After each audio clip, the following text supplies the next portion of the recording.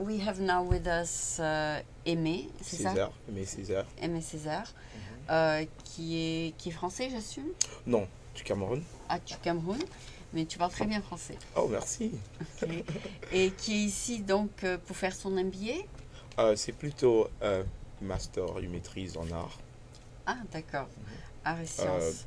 Est-ce que tu es artiste? Non, c'est juste euh, de l'appellation du diplôme.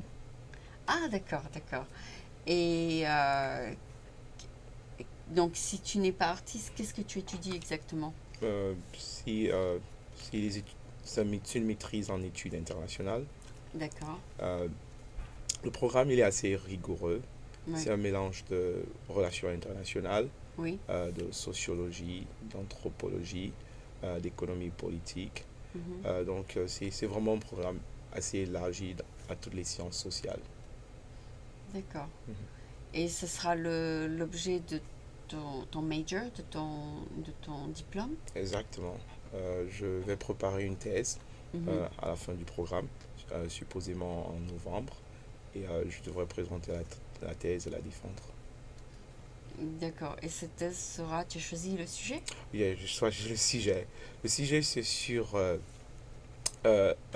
l'accès et la consommation des produits de luxe et la manière dont euh, les, certaines personnes utilisent euh, la visibilité que, que leur accorde euh, la consommation des produits de luxe pour acquérir une certaine forme de pouvoir. Ah, d'accord. Donc, tu veux dire que d'avoir le produit de luxe te donne un pouvoir? Yes. Euh. C'est plutôt une étude psychologique. Ah, c'est c'est le genre entre c'est c'est à, l'intersection entre euh, psychologie euh, sociologie euh, je vais dire anthropologie parce que c'est le, le truc le nœud de, de ce concept c'est culture et, et pouvoir parce que déjà le pouvoir est au cœur de toute relation sociale Mhm. et qu'on soit riche ou pauvre, on a ce besoin de se différencier à l'autre. Mhm. Et, ce, et dans cette lutte sociale de- d'être distinct de l'autre, Oui. on, est, on, on affirme un certain pouvoir.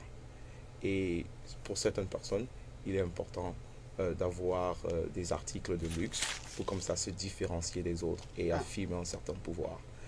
D'accord. Ouais, ça, C'est une ça a l'air- conception. Ça a l'air plutôt logique, oui.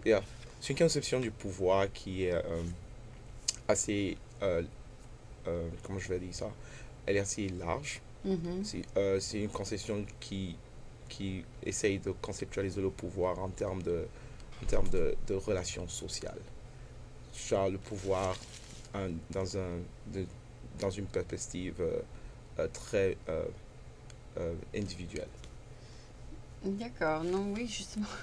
Oui, j'ai j'ai lu là dans, je sais pas dans quel magazine, ils étaient en train de mettre des, des peintures pour, sur les écharpes Hermès Mhm. pour que ce soit des écharpes uniques. Euh, donc ça, c'est ce genre de produit qui va te distinguer de tout le monde parce que personne ne pourra les acheter que toi. Exactement.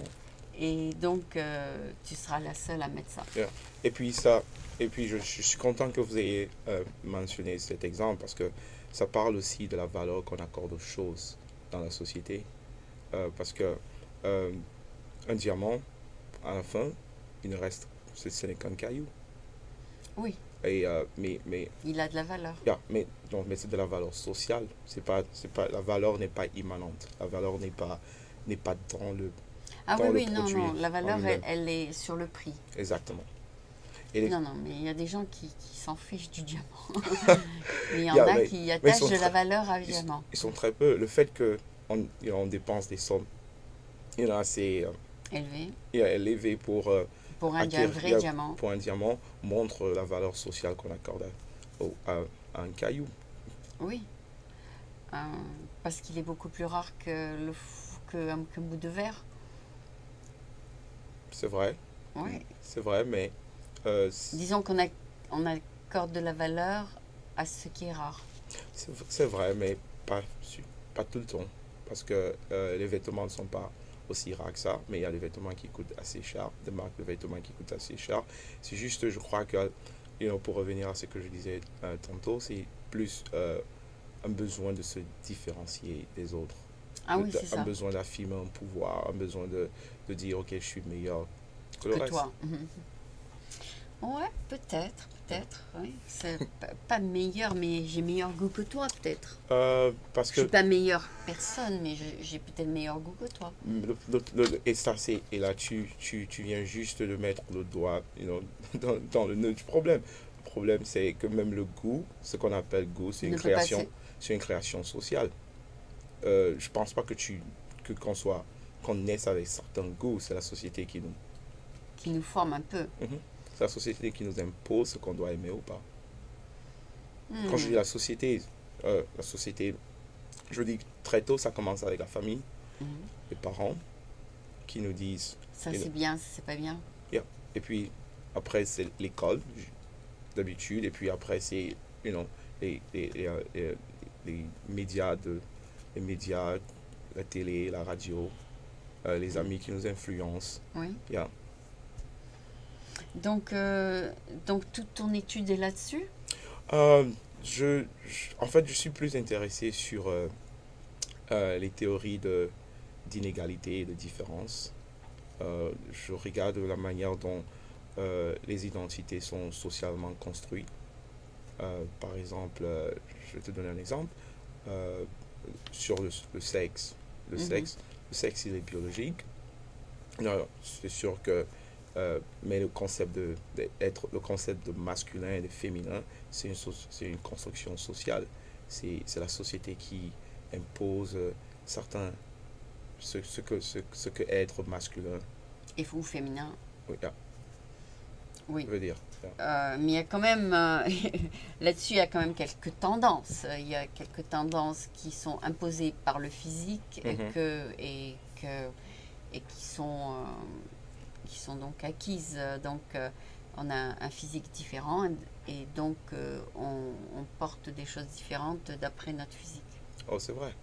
Mais euh, je, je parle plus you know, dans, le sens, dans le sens social you know, de, du sexe, Ah pas, oui, le, pas le sens biologique. ah oui Pour le sens biologique, c'est clair que Il y a une Il y a une grande différence.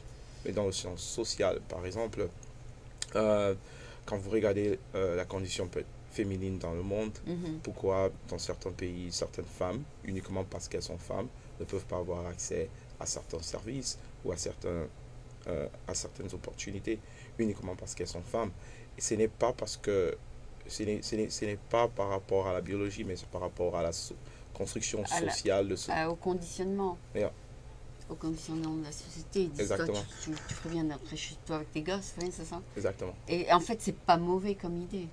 Euh, c'est, laquelle? Chacun, chacun son rôle. La femme doit peut-être euh, vraiment meilleure à la maison que Mhm. dans un bureau. Oh non, on va pas, on va pas en discuter. Je crois que c'est, Non, mais peut-être, peut-être qu'ils ont raison, même si on n'est pas d'accord. non, non, c'est clair. I mean, je veux pas faire une critique de ces cultures ou de ces, de ces sociétés, mais ce que je veux dire, c'est C'est quoi C'est, des idées imposées. yeah, c'est plutôt les idées imposées. Et c'est ce que je veux dire. Et puisque on parle de pouvoir, n'est-ce pas? Euh, euh, On sait tous que le pouvoir, il n'est pas, il est, il est diffus. Tout le monde a un pouvoir en lui, et c'est la somme de ce pouvoir qu'on, qu'on, qu'on essaye de personnifier, qu'on essaye de, de personnifier dans l'État ou bien dans, dans, les autorités, que ce soit les autorités familiales, les autorités traditionnelles ou bien les autorités étatiques. Mais le pouvoir est en nous.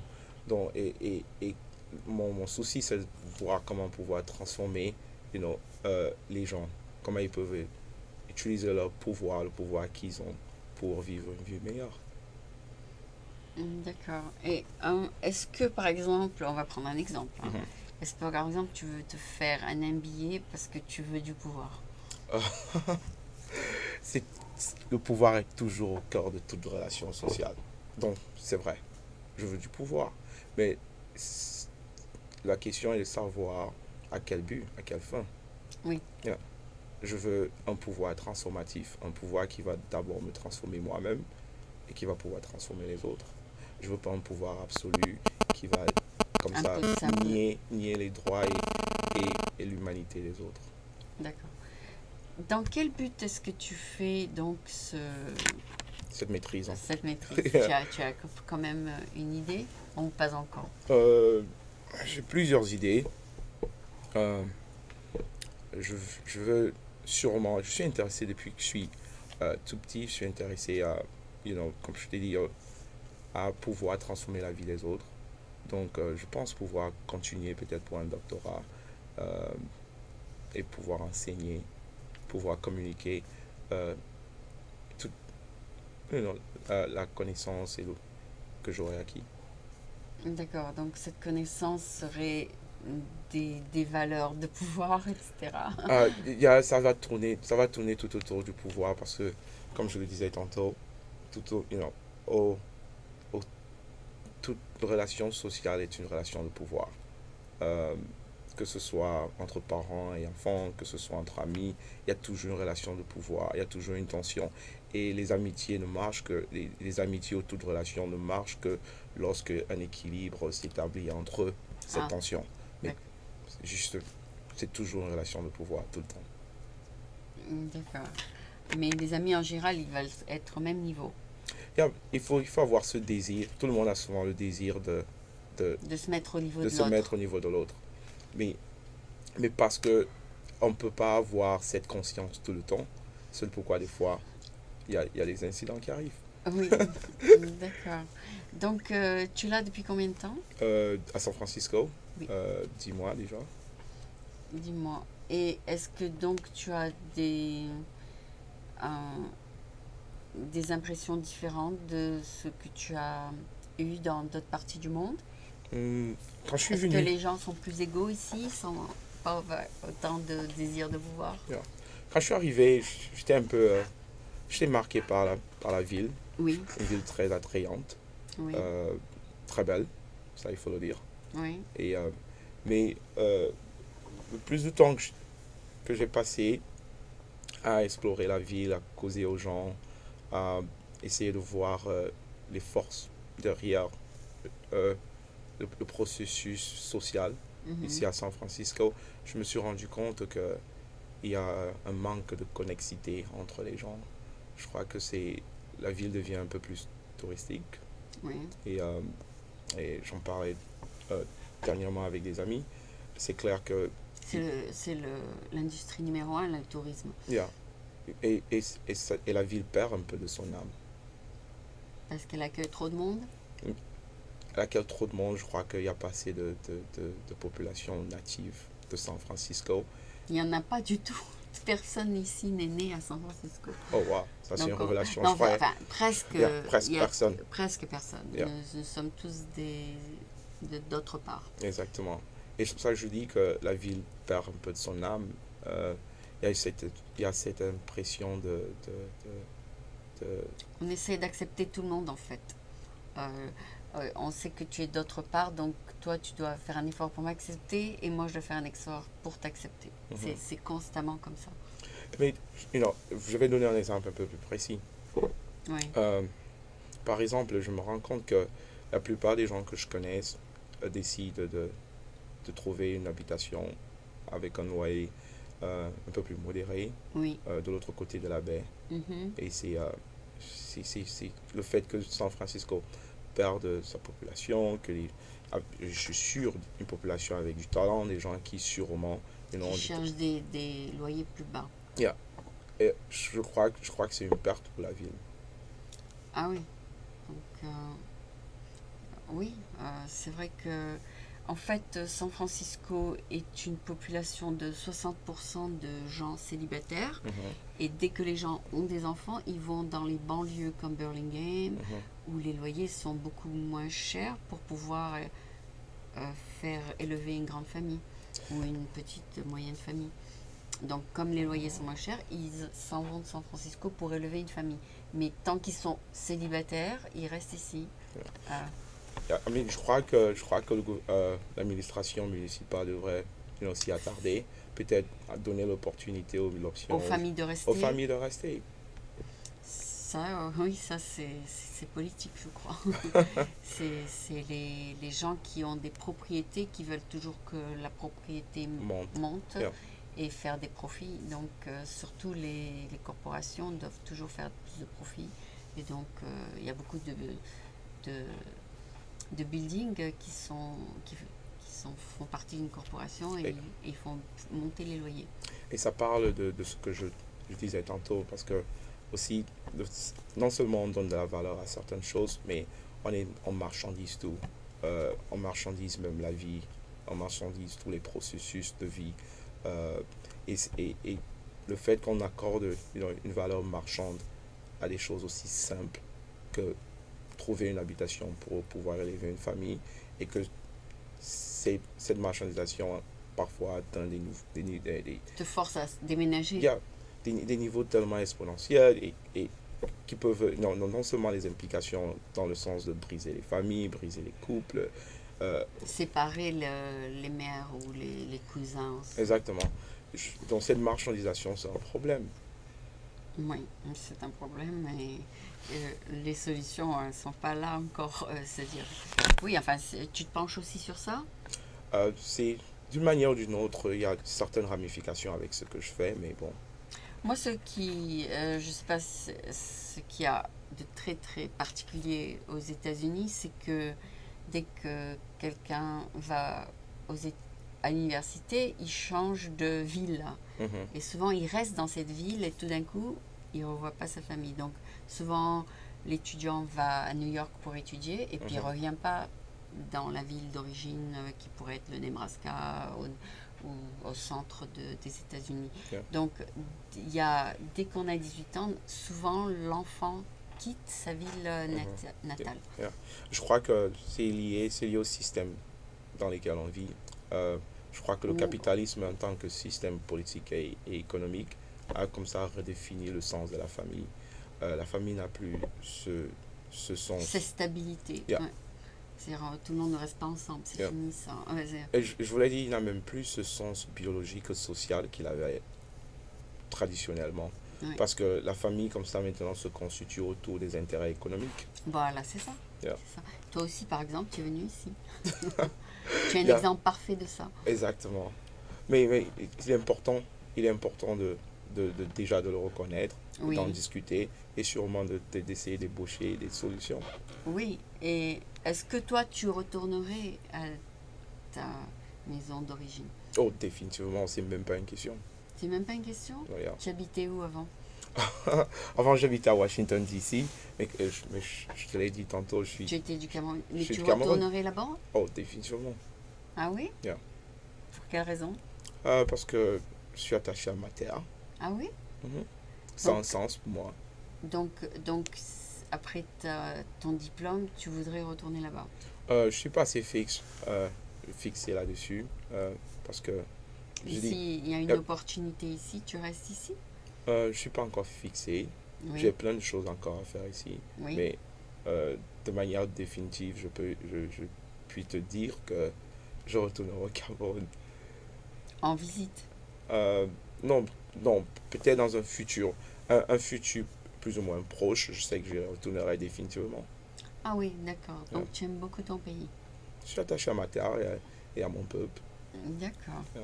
Donc, euh, qu'est-ce que tu pourrais donc nous dire de ton pays? Parce que c'est très rare que j'invite quelqu'un de ton pays. Mhm. Autant en profiter que tu es là. Parle-nous un petit peu de ce pays que tu voudrais revoir. Euh, euh, c'est euh, c'est un pays niché comme ça entre, dans, en Afrique centrale, euh, entre euh, six autres pays, entre le Nigeria, le Mhm. Congo, euh, le Gabon, la Guinée équatoriale, le Tchad et la République centrafricaine. d'accord. Euh, Mais qu'est-ce qui est extraordinaire à propos du Cameroun? Hum, la première chose qu'on remarque souvent au Cameroun, c'est euh, la diversité culturelle. La diversité non seulement culturelle, mais la diversité aussi, euh, euh, euh, comment, comment je vais l'appeler, la div- la diversité de, de paysages, de peuples. euh, et c'est pourquoi on appelle le Cameroun d'habitude l'Afrique en miniature. Parce que comme ça, le Cameroun rassemble tous les différents paysages, les différents climats, les différents peuples de toute l'Afrique. D'accord. Yeah. Donc, euh, donc, au Cameroun, il y a une diversité de d'autres pays aussi. Mhm. C'est un peu comme San Francisco. Exactement. C'est vrai? Il y a Bon, les gens vont là-bas pour quelle raison? Euh, plusieurs raisons. Euh, peut-être du tourisme, euh, faire du safari. Oui. Hum, des gens vont pour, surtout, surtout, you know, juste parce qu'ils sont intéressés par l'Afrique et je crois que c'est une bonne destination. Et ils restent. Ils décident de rester? Des fois, mais la majorité retourne dans leur Ok. pays d'origine. D'accord. Donc, quand tu dis qu'il y a de la diversité, ce sont des gens qui viennent temporairement? Oh non, je, je, crois, je crois que tu m'as pas bien compris. Euh, je parlais, des, je parlais des, des Camerounais qui sont natifs du Cameroun. Ah, natif, ok. Yeah. Yeah, je croyais que tu parlais des touristes.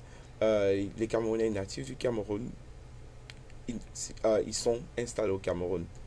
C'est pas comme s'ils venaient juste au Cameroun visiter et puis ils retournaient dans un endroit où... Mais d'où est la diversité alors? La diversité, c'est le fait qu'il y a à peu près 300 ethnies. Ah oui? Yeah. Ah, contrairement à d'autres pays en Afrique où, où tu rencontres euh, deux ou trois ethnies dans un pays, ah il y a ouais. 300 ethnies. Donc, euh, imagine ce que ça fait d'avoir un pays avec 300 ethnies, 300 langues. Ah oui. Et yeah. c'est de cette diversité que je parlais.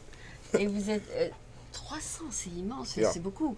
Et vous parlez tous des langues différentes, tout ça? Exactement. Oh là là, et tu Yeah. te débrouilles dans quelques-unes? Tu comprends quelques-unes? Il y a euh, les langues euh, de mes parents. Ah, d'accord. Et tout le monde communique avec une langue commune comme l'anglais Euh, parce que dû à la colonisation, tout le monde parle français et anglais. Ah, le français, d'accord. Yeah. Français et l'anglais. Mhm. Donc, euh, vous êtes tous bilingues et Ah, même trilingues. Non, nous ne sommes pas bilingues en fait. I mean, nous sommes, nous- officiellement, on parle deux langues, mais d'habitude, tout le monde ne va pas être bilingue parce que c'est pas. euh, euh, lorsque, lorsque le Cameroun a été colonisé, Mm. je vais le dire, c'était vraiment pas une colonisation parce que le Cameroun était placé sous mandat des Nations Unies. Euh, deux provinces ont été accordées à la Grande-Bretagne Hmm. et huit autres provinces ont été accordées à la France. Donc, euh, les deux ont fonctionné pendant un bon bout dans, un- dans une sorte de fédération Ah oui, avant de, se- de, d'avoir, euh, de décider d'avoir un, un État uni, un État totalement qui unitaire, s'appelle le le Cameroun. Et, Et- et il y a- donc, il y en a qui parlent l'anglais, il y en a en qui a parlent qui le français. français. yeah. Ah, d'accord. Et vous C'est- accordez quand même? Oh, définitivement. Oui Yeah, on, on a ce désir de vivre ensemble et on sait tous qu'on est un même peuple. Donc, quand tu es venu ici, tu connaissais l'anglais et le français?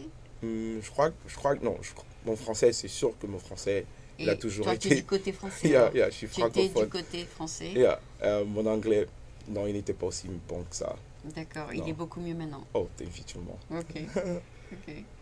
Et euh, donc, euh, il y a écrit sur ta carte Change the world from here. Ça, c'est le, le- c'est l'université qui dit ça ou c'est toi? Oh non, ça c'est, ça c'est euh, le, le logo de l'université. Ah, c'est le logo, ok. Mhm. Parce que c'est une université qui Jésuite. forme, qui forme des gens de, qui viennent de, tout- de plusieurs pays du monde, c'est ça? Oui, yeah. C'est une université vraiment ouverte au monde. c'est une université jésuite. Et la diversité, on parlait de diversité tout à l'heure.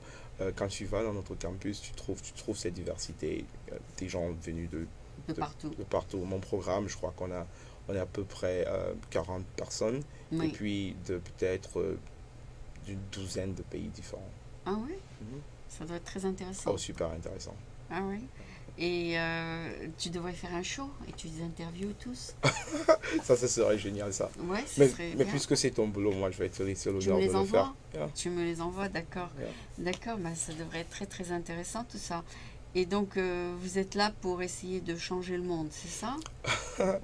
Euh, parce que l'Université de San Francisco est vraiment s'investit vraiment dans la justice sociale. Ah, d'accord.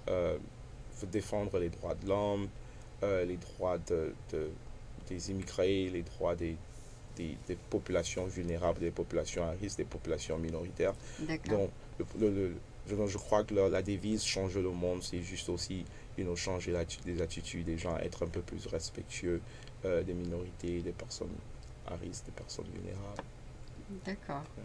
D'accord. Et donc, euh, euh, c'est c'est un peu aussi ton but, n'est-ce pas? Oh, yeah. Euh, c'est l'une des raisons pour euh, laquelle je, je, j'ai décidé d'appliquer de, et, De venir à ce et de- programme et, et d'entrer Et, dans tu- ce et programme. c'est la France qui t'envoie ici? Enfin, c'est le Cameroun qui t'envoie ici? Non, non. C'est une décision personnelle. Ça Ah, n'a c'est rien à voir c'est avec. une décision privée. Donc, Mhm. euh, c'est- tu, tu es ici en tant qu'étudiant en privé. Mhm. Donc, tu travaillais alors avant? Yeah, je travaillais avant.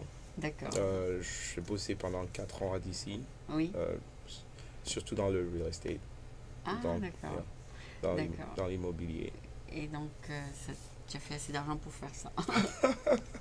L'argent pour tout, n'est-ce pas? Il y a, malheureusement, euh, et ça revient à ce que je parle, de, de ce que je, je disais tantôt, la marchandisation de, De l'éducation, de Yeah, tout. De yeah, tout. de tout. Oui.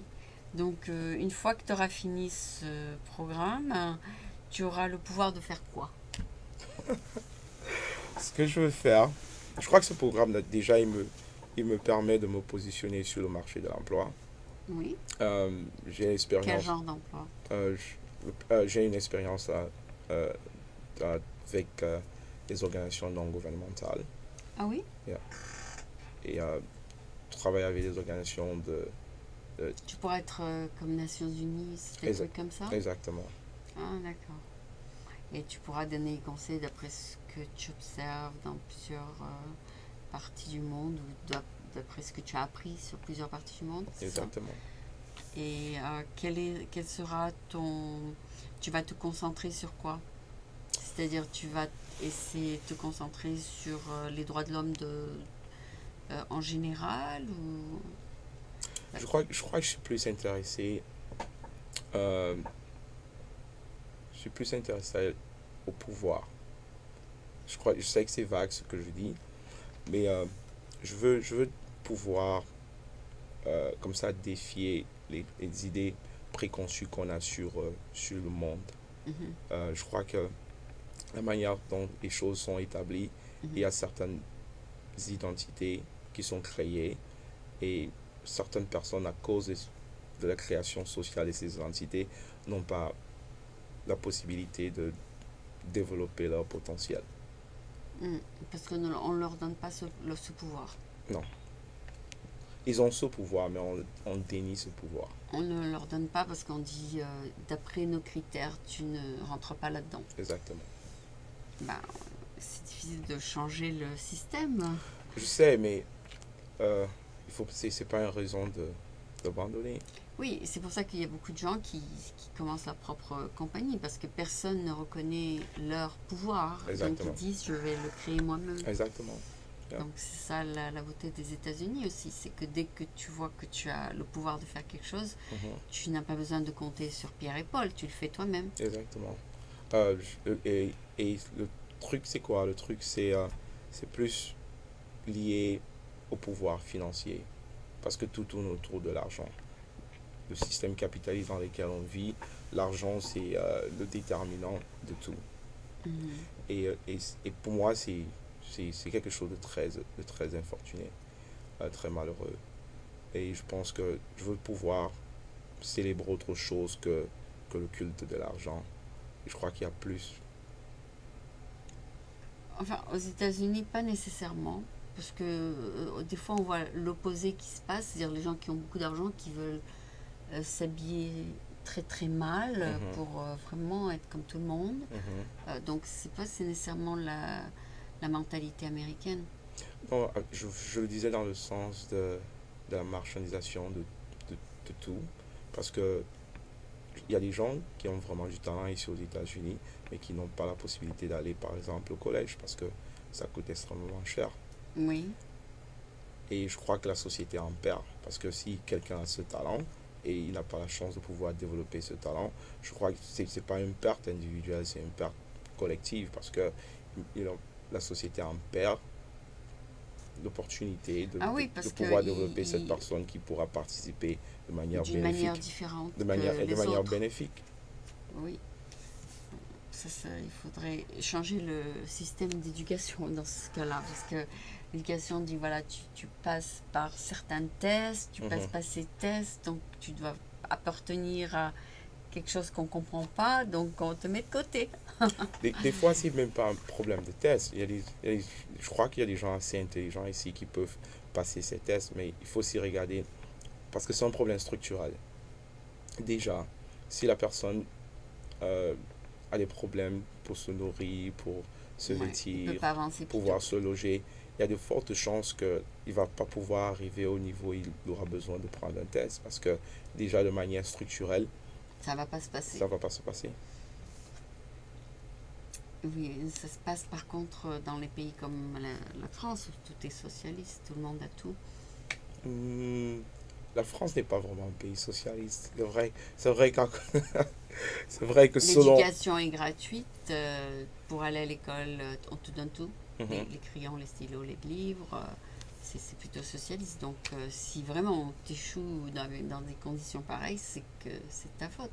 Euh, je crois que je vais pas parler de la France, euh, je- mais je crois que il y a toujours il y a des conditions pour euh, empêcher que certaines personnes arrivent à certaines positions en France. Et ces tests dont tu parlais tantôt, c'est plutôt du genre 1 plus 1 égale 2. non non c'est pas aussi simple que ça. Ces tests sont politisés et c'est à travers ces tests qu'on décide qui entre ou qui n'entre pas. Ah oui, ça c'est tout à fait injuste. Parce que quelqu'un peut avoir beaucoup de talent et la personne est éliminée basée sur des tests qui n'ont aucune preuve d'être euh, vrais ou, ou valides. Et puis, c'est- difficile vraiment de juger, de juger l'intelligence de quelqu'un. Je crois que c'est assez Sur des subjectif. tests, Yeah. ouais. Donc euh, c'est beaucoup plus compliqué que ça, un être humain, que un test de 120 questions, ça ne va pas le déterminer du tout. Exactement. Et le truc, c'est, c'est quand je parlais de, de tests et d'y arriver au test, je pense que, par exemple, si tu es noir en France Mhm. ou tu es arabe, euh, il y a de fortes chances que tu vas même pas postuler au test d'entrée, par exemple, à Polytechnique ou à l'École nationale euh, des, administrations, des administrateurs. Tout uniquement parce que, déjà, il y a de fortes chances que, tu, après, après ton, ton baccalauréat, tu ne décides pas d'aller à l'université. Même si l'université gratuite. est gratuite, c'est juste que les conditions sociales, la manière dont les choses sont construites socialement, euh, cr- créent une différence dans le dans l'accès qu'on a à certains postes ou à certains emplois. C'est peut-être vrai, mais moi j'ai des amis qui, euh, qui sont allés justement euh, cadre d'herbage. Moi, je peux mentionner qui passait au programme et qui a fait l'école d'ingénieur et Mhm. il a bien réussi. C'est clair que je refuse pas que, que euh, quelqu'un ne puisse pas y entrer. C'est c'est- c'est clair. Il y a Il des fortes rentrer. chances que tout le monde peut entrer, mais c'est euh, le, le privilège qui est accordé à certains et qui n'est pas accordé aux autres. Ah, ça au- que du je po- parle. au- à la maison, tu veux dire, du point de vue euh, de façon de vivre des enfants, etc. Non, de, non, de manière sociale dans la société. Oui. Dans la société, c'est clair que c'est clair que si vous avez un, vous venez d'une famille euh, euh, de souche française par rapport à un immigré, il y a de fortes chances que que cette, cette- que vous ayez accès à certaines choses. Oui. Je ne sais pas si tu as entendu la blague. Ils ont dit que la France c'est le seul pays arabe qui n'est pas en guerre. C'est-à-dire que, qu'en France c'est l'Afrique du Nord. Euh, plus ou moins. Je crois, je, C'est fini ça. C'est des histoires d'avant que tu racontes. non, je crois, Quand- si tu vas à la gare du Nord, c'est Yeah. pas la France, c'est que l'Afrique. je crois, je crois, je crois que, je crois que la plupart des gens essayent de limiter la France à Paris. Mais, euh, mais yeah, on, ne Ah Oui, rencontre, on ne rencontre que, on ne rencontre que les Arabes et les Africains autour de, de la région parisienne. Oui. Yeah, mais, mais après, la France ne se limite pas à Paris. Mais après, qui vit dans les campagnes, qui vit dans euh, d'autres régions françaises, ce sont les Français de souche. C'est possible. C'est comme tu dis, les Américains de souche et les, les immigrés. euh, Il y a les Américains qui sont nés ici et les Américains qui arrivent. euh. Il y a- c'est- non, mais je pense qu'en France, il y a une forte culture euh, de souche. Au sud, au sud seulement. Il y a- non, je crois même dans le Nord. Je crois qu'il y a une forte culture que, que les gens. C'est différent de, des, des États-Unis. Les États-Unis, c'est un pays d'immigrés, mais je crois qu'en France, il y a une forte culture. je et, et ils sont très fiers de la culture, ils parlent tout le temps de l'exception culturelle française. Et, et ils voudraient que tout le monde, qu'on soit immigré ou pas, qu'on vive en France, euh, qu'on soit qu'on s'assimile à la- cette culture française. Donc il y a un, il y a un projet clair et, et défini de ce que être français veut dire. Ah Ce- oui, ce de parler la langue, ça c'est numéro un. Mhm. Et de, de, de plus ou moins euh, laisser la France rester la France. J'adore, la manière dont tu l'as dit. Laissez la France rester la France. Oui, c'est-à-dire la France, c'est la France, et puis si c'est notre pays, c'est notre pays. Yeah. Euh, mais, euh, mais avec tous les immigrants, maintenant, c'est, c'est... moi, j'ai pas reconnu Paris. Euh, Je suis allée à la gare du Nord, j'ai dit, ça, c'est pas la gare du Nord d'il y a 30 ans, c'est, c'est, c'est, c'est, c'est l'Afrique du Nord. C'était une bonne chose ou pas? Mais je me sentais pas du tout en France. Parce que vous avez une idée claire de la France. Et c'est ça mon problème. Le problème, c'est que Mais ça devrait te faire plaisir que c'est plus la France. non, moi, ça me fait pas plaisir. Mais je- ce que je veux dire, c'est quoi? C'est que si j'y vais et ça ne ressemble à ce que, à ce que C'était- C'est Je qu'il y a eu des progrès, non, je vais, je plutôt célébrer la- la cu- euh, cette diversité, le fait que la France s'ouvre à d'autres cultures. Oui. Parce qu'il n'y a, pas- y a pas de problème à s'ouvrir à d'autres cultures. Ça ne peut qu'être un- une expérience enrichissante. Oui, Mais, mais, si, mais si on s'en plaint, ça veut dire qu'on a un problème. Le problème, c'est quoi? C'est qu'on a une idée très claire et précise de ce que la France, la, et, la- la France devrait être. et elle ne l'est plus. Mais et c'est ça mon problème. Mon problème, c'est de pouvoir défier cette construction sociale de ce que, Ça Euh, devrait être. de ce que ça devrait être. Oui, les gens se font une idée que s'ils vont à Paris, ils vont voir euh, ci et ça. Et puis s'ils vont à Paris, ils vont voir l'Afrique. Ils vont se dire, je, je me demande si je suis à Paris. Je- je- moi, je trouve pas de problème avec ça. Je trouve que c'est tellement enrichissant. On, on ne peut que s'enrichir au contact de l'autre. Euh, et je crois que euh, notre expérience aujourd'hui en est la preuve. J'apprends de vous, vous apprenez de moi. Et c'est- comme ça que l'humanité avance. C'est- On ne peut pas arrêter euh, l'humanité. De toute façon, dans 100 ans, euh, mon professeur a prédit qu'il n'y aura plus de blancs et que le monde sera brun. brun. Ça, je sais pas. Je suis pas. Ouais. C'est-à-dire qu'il y a une diminution euh, claire et nette de, de, de- de certaines races parce qu'ils ne font pas autant d'enfants. C'est pas, c'est pas euh, un wish, mais c'est un constat euh, euh, qui est sur papier. quoi. C'est des nombres. Et alors, le concept de race, c'est euh, aussi une création sociale. Mhm. euh, de manière, je pense, à mon sens, je pense que de manière euh, biologique Ouais. ou même euh, Il y a des caractérielle, mélanges. Il y a des mélanges. ouais. yeah, ou même caractérielle, on ne, qu'on ne puisse pas définir une race blanche, une race noire, une race jaune ou rouge. Je Mhm. pense que c'est une création sociale, c'est, c'est uniquement pour pouvoir se différencier des autres, pour euh, comme ça établir les inégalités et les différences sociales. J'ai jamais pensé qu'il y avait une race qui s'appelait une race noire et blanche, parce que mais ces, ces idées, ces concepts euh, euh, ont été imposés. je sais pas, quand tu. que ce soit un, un homme ou autre, euh, il y a des couleurs. Mhm. Et ça, c'est comme ça qu'ils ont décidé de, de dire combien il y a de blancs, combien il y a de jaunes, les, les, les asiatiques, combien il y a de noirs et combien de Et là, c'est le problème. Et là, c'est le problème. Le simple fait de décider, c'est un acte de pouvoir. Non, ils n'ont pas décidé, ils ont dit on va les compter. Ok. Non, le, le simple fait de les classifier ou de les compter, c'est un acte de pouvoir. Et c'est un acte de pouvoir qui crée des inégalités sociales, qui crée une différence, une différence sociale. Parce que le simple fait, le simple fait de, de, de, De devoir les compter? De devoir les compter, c'est un acte de pouvoir. et où est le pouvoir? On, on fait une un constat, on constate qu'il y a tant Mhm. de blancs, qu'il y a tant de chinois, qu'il y a tant de de- d'hindous, qu'il y a tant de nord-africains, qu'il y a tant de Donc, ce soit la c'est- race. c'est- ce n'était pas aussi un, d'indiens, voilà. ce n'était pas aussi un acte aussi bénin que ça. Euh, c'est vrai, sûrement, ils ont, ils, ils ont classifié et catégorisé les races, mais ils ont aussi hiérarchisé. Euh, ils ont décidé, ok, la race blanche est la race qui, est, Meilleur, qui comme ça, représente l'avancement de, de l'humanité. Je veux pas mais dire ça c'est euh, c'est dans les années 40. C'est fini ça. Oh, c'est fini ça?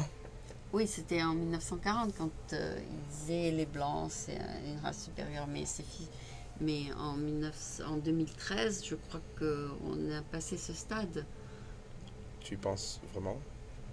Je ne vois pas d'inégalité de, euh, par exemple à l'université, on accepte les gens pas d'après leur couleur, mais d'après ce qu'ils ont mis sur leur test ou... euh, Je pense pas. Le simple fait que ici aux États-Unis, il y a un quota pour certaines races oui. prouve que mon, actuellement prouve mon point. De, les accepter, tu veux dire, dans le, le pays? Non, le, le fait, le fait qu'il y a un quota qui dit, par exemple, pour avoir certains postes, pour avoir euh, accès à certaines universités, ici aux États-Unis, euh, si tu es noir, il y a un mm. quota pour, toutes les races, pour certaines races. Parce qu'on l'idée, c'est quoi? L'idée, c'est de pouvoir euh, créer un, environnement qui soit inclusif de mm-hmm. toutes les races. Donc, ils acceptent plus de, de certaines races. Donc, oui. on fixe un quota pour mm-hmm. certaines races. Qu'ils passent ou pas ces tests, mm-hmm. on va pouvoir les faire rentrer parce qu'on a besoin de ce genre de personnes. non, pas qu'on a besoin de ce genre de personnes, on a besoin de cette race dans la classe. Dans la classe. Uniquement pour, pour montrer qu'on est inclusif, qu'on est inclusif de toutes les races. Oui. Et ça prouve qu'il y a un problème de race. Euh, Parce que si on vit dans une société égalitaire, oui. on n'a pas besoin d'avoir un, quota, pour les minorités. Le quota a été justement établi pour reverser cette inégalité, pour euh, les accepter.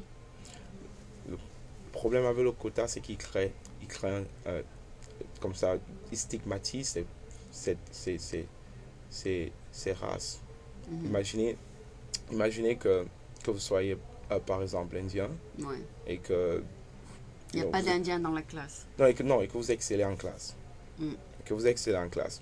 Il y a de fortes chances que, euh, que vous soyez accusé d'avoir de bonnes notes uniquement parce que vous êtes indien et qu'on a besoin, on a besoin de, de pousser, vous garder dans la classe. de, pousser, de, pousser, de pousser les Indiens. Euh, la on même peut, chose. On peut vous accuser, mais c'est pas vrai. On peut vous accuser, mais c'est pas vrai. C'est-à-dire, c'est comme quand vous dites euh, à Berkeley, euh, les Asiatiques qui performent beaucoup mieux dans les technologies. Ok? Mhm, mhm. C'est pas parce qu'on les a poussés, c'est parce que c'est un fait. Le pas, le pas entre entre entre cette, cette perception mhm. et et comme ça, euh, euh, une discrimination est très vite franchie. Imaginez, imaginez un seul instant que maintenant cet Indien décide de, trouver un emploi mm-hmm. et postule. Il y a de fortes, il, y a, il y a une possibilité que malgré, malgré qu'il y ait de très bonnes notes, que le recruteur regarde son profil et dise il a des très bonnes notes, mais je pense que sûrement parce que c'est un Indien, on lui a refilé ses bonnes notes et qui ne le prennent pas au sérieux. Ah, tu vois, oui, ça c'est le reverse discrimination. non, mais je crois pas. Je pense que le recruteur devrait être un peu plus intelligent que ça, j'espère. mais ce sont des choses qui se passent tous les jours et ce sont ces questions de, de, de, différence et d'inégalité dont je parle, dont je parle, je parlais tantôt. C'est ces choses sont sont tellement subtiles. Avant, c'était des choses qui étaient très visibles. Mais mhm. maintenant, elles sont subtiles. Et tu ne vas pas me dire que tu vas accorder la, la, confiance absolue au recruteur et te dire qu'il va être objectif. Parce que ce sont, le recruteur, ce n'est pas une machine, c'est un être humain qui est, qui, est, qui est soumis à certaines influences. Et, et certains concepts influencent la manière dont il pense. Et il y a de fortes chances qu'il perde son, son objectivité.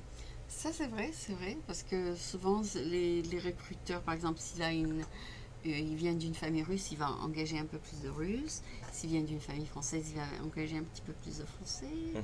Parce qu'il y a toujours ce côté euh, affectif vers sa propre euh, appartenance. Voilà. Mhm. Donc, si tu es un recruteur, tu vas peut-être engager quelqu'un qui est du Cameroun, parce que tu, tu tu, aimes bien cette personne. Donc ça, c'est plutôt affectif, c'est plutôt que, que de performance ou quoi que ce soit.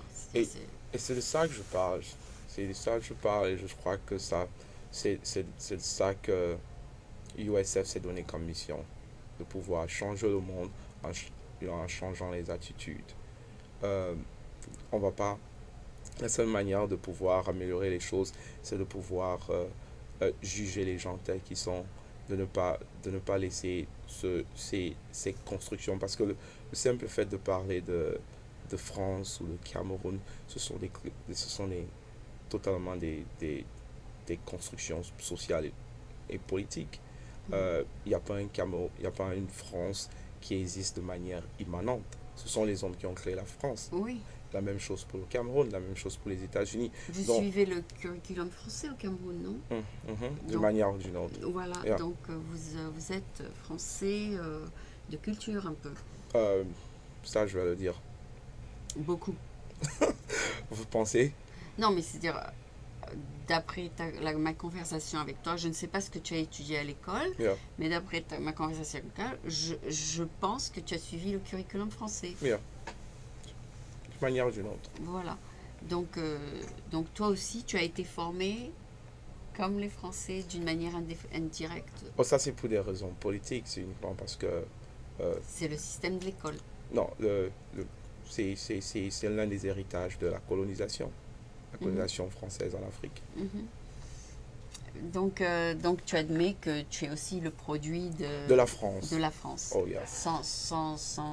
Que je le veuille ou pas. Voilà, c'est ça. tu parles le français et, et tu as les expressions françaises. etc. Non, et je suis sûr que j'ai peut-être une manière de penser qui est Un plus ou moins française. Analytiquement française. Yeah, que je le veuille ou pas. Voilà, c'est ça. Donc, tu analyses un peu les choses comme les Français, etc. Donc, euh, c'est très, très intéressant. Je- J'espère que tu trouveras le job euh, qui va être parfait pour toi après ça. Oh, merci déjà. Euh, je ne sais pas si ce sera aux Nations Unies, ou aux États-Unis, ou euh, au Cameroun, ou en France. Mais quel que soit l'endroit, tu iras, c'est ça? Oh, c'est sûr. Euh, et puis, euh, je pense que, je pense que ma mission, elle est noble. Et que, et que c'est, c'est, pas, c'est pas, c'est pas la location ou, euh, ou le profit financier qui va déterminer ce que je veux faire. Je veux, je veux vraiment m'appliquer à, à pouvoir transformer les gens, pouvoir apporter euh, euh, une, une sorte de, de lumière dans la vie. Je crois que c'est, un peu prétentieux. Oui. Je trouvais le, Non, mais tu pourras faire du mot. consulting pour les recruteurs, tu Yeah. pourras faire du, consul- euh, du consulting pour les universités, comment ils, ils recrutent. Yeah. Euh, tu pourras faire du consulting, d'après ce que tu as parlé, hein. Mhm. Euh, donc euh, de la façon dont les gens perçoivent les autres, d'après ce qu'ils donc ça, ça c'est du recrutement aussi un petit peu. Mhm. Euh, donc, je pense que tu seras peut-être dans ce domaine-là. Euh, si et puis la- dans l'éducation. Donc, euh, je te remercie, euh, étant donné que il est, on a passé 5 heures de, de l'après-midi, donc je suis obligée de finir cette interview. Je te Mhm. remercie d'être venu et puis j'espère que, que tout se passera bien pour, la, pour ton, ta thèse. Je sais Oh, pas. merci. Sur Hey, le- la thèse, c'est sur le pouvoir, n'est-ce pas? Exactement. Tout, rappelle-toi, au cœur de, de toute relation sociale, c'est le pouvoir. D'accord. Ah, C'est tout mon plaisir d'y être aujourd'hui euh, dans ce studio. Je, euh, J'ai été honoré d'être invité. D'accord. yeah. Tu passeras donc euh, sur French American TV sur euh, la chaîne 29 et puis sur l'internet sûrement. Merci super. beaucoup. Ah, merci. J'espère que vous avez apprécié. Oui, c'était très intéressant. Je suis sûre que tout le monde va trouver que qu'il y, a- il y a quelque chose euh, de très nouveau que tu as à dire. Donc c'est très intéressant. Merci beaucoup. Mhm.